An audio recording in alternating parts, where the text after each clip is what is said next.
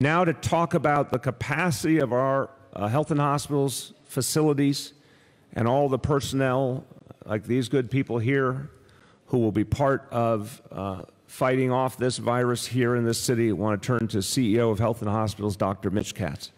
Thank you, Mr. Mayor, and thank you for having this at Bellevue. Bellevue is the longest running public hospital in the United States, uh, established prior to the signing of the Declaration of Independence.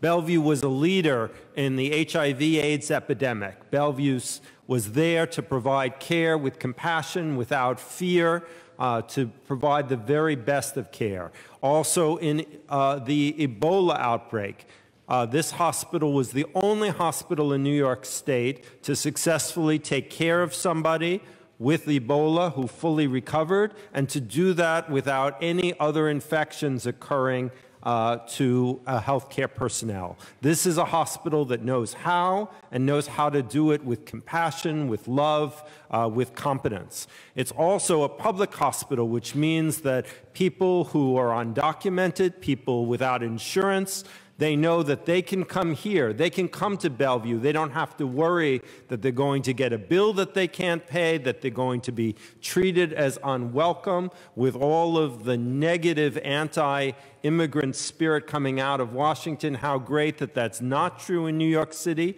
It's not true at Bellevue. And I'm so grateful to you, Mr. Mayor, to the City Council for always maintaining that. We are prepared at Bellevue. We are prepared at the other 10 acute care hospitals of health and hospitals. We are prepared at our other 60 outpatient sites. Uh, we have known for several weeks that it is likely that we would reach a point where there would be many people uh, seeking our services uh, because of respiratory disease. As the mayor has explained, 80% of people who contract this virus will have little or minimal symptoms, but 20% will need healthcare services, and probably about 5% of those people will need intensive services such as uh, a breathing tube uh, and a ventilator machine. We are prepared for that. We have been practicing. Bellevue and all our acute care hospitals have plans. Now, those of you in the the lay press may say, well, uh, wait a minute, we've, we've been hearing that hospitals are crowded, we've been hearing that ICUs are crowded already. How could you possibly be prepared to take on additional people? And the answer is that in an emergency, you change how you operate. You don't continue to operate in the same standard. So we are prepared at Bellevue and all of our hospitals that were we to have many patients with respiratory distress, we would rapidly discharge those patients who are in the hospital now and do not need to be in the hospital because they can be safely cared for at home. We would cancel all elective surgeries. So there is a lot of incredibly valuable work that a hospital like this does. We remove gallbladders, we fix hernias, we uh, fix bones, we do arthroscopy, we do bariatric surgery, all very worthwhile. All that stops in an emergency. Uh, we have outpatient clinics. Health and Hospitals does 1.1 million outpatient visits a year.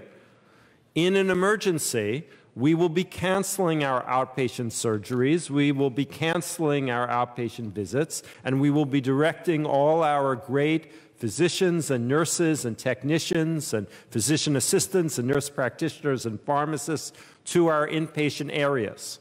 We know where in every hospital, if we needed to set up intensive care beds. Someone thoughtfully asked the other day, well, but do you have enough intensive care bed? An intensive care bed is defined by the great nurse who is caring for the patient. It's not a physical space.